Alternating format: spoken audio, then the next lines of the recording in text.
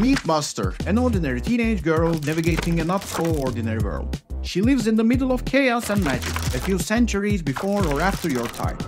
After the Doomsday, magic reshaped civilization and gave rise to the art of crafting magical cards. Yet amidst the fantastical, the life of a teenager remains the same, navigating a world veiled in mystery and all the adults around seem to be against them. Fortunately, Buster has friends and magical cards, just like all other teenagers.